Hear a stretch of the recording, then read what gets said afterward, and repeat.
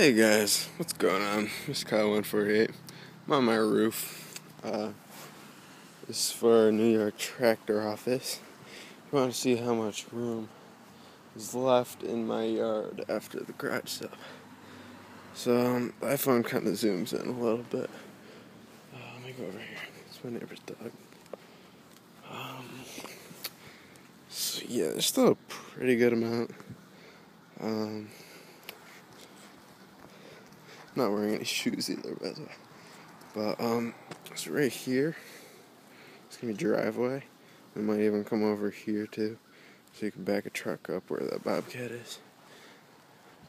And driveway all the way to the end of the garage.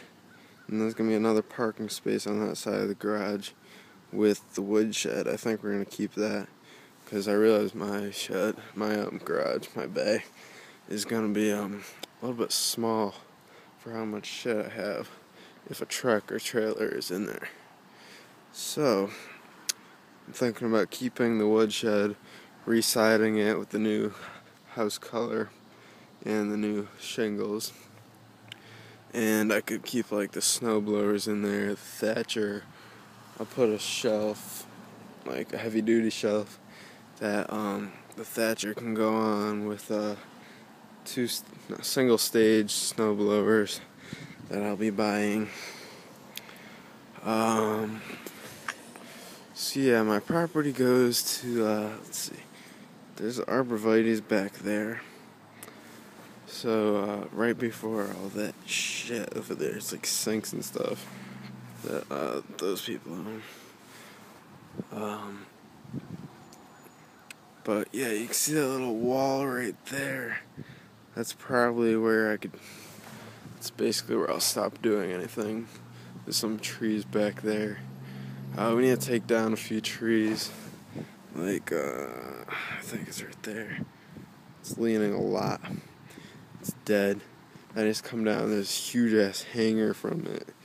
Uh, right there. Right there. And then uh, some other trees back there. But basically, what I want to do is I want to have a fenced in area on that side of the garage, which the shed will be in, maybe a truck, maybe trailer. Not exactly sure, but just so all my shit is hidden. Um, you don't see it from the road over there. Over there. Um, so there's gonna be there's not gonna be too much grass, but that's fine with me because I do my neighbor's yard here too and I do it free, so it's enough grass for me to cut for free. And there it looks like shit. I helped build that big shed with my neighbor, but then he moved. He still owns his house, but he rents it. Uh, that'd be awkward if my brother was home, because that's his room right there. Um, I need to take this off here. It's been on there since we put the window in. I'll work on that after. But it's cold as balls out here. Um, so yeah, there is about. Hey Skyler. Dog's name is Skyler, which is also my brother's name, so that's kind of weird. But um, so you can see there's a bunch of room behind the garage. It has to be two feet from the property line, which that's about three to four feet in some areas.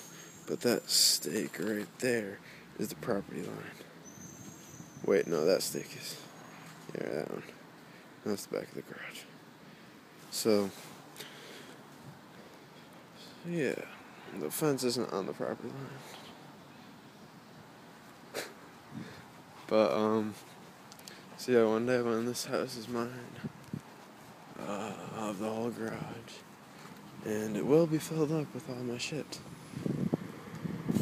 I'll have, um, three or four trucks in there, whatever. Well, it depends how big my company gets, but that's what I'm hoping for. So, we're gonna redo. What the fuck? The fuck?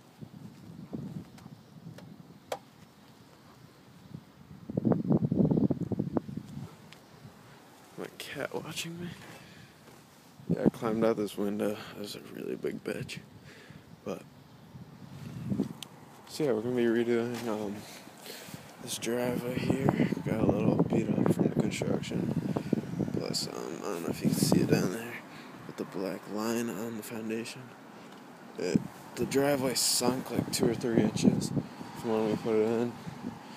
So yeah, and it's all fucked up over there and there. Uh, and Amber's roof is really fucked up. But yeah. So I'm gonna go inside for now, watch some TV with my grandpa. Hope this helped you out. Um, yeah, see you later, guys. Thanks for watching. Rate, comment, and subscribe.